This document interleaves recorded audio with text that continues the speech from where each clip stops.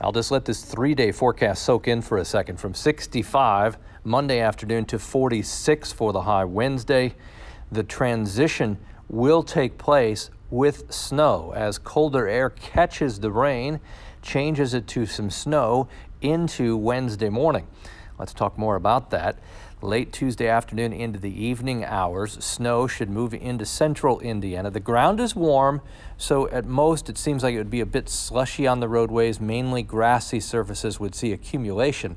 Spring snow, what happens in April of 2018, we had 2.1 on the first and over two and a half inches for the month two tenths of an inch May 6, 1989. That's the last time we've had measurable snowfall on April 20th or after in Indianapolis. Here's the big picture.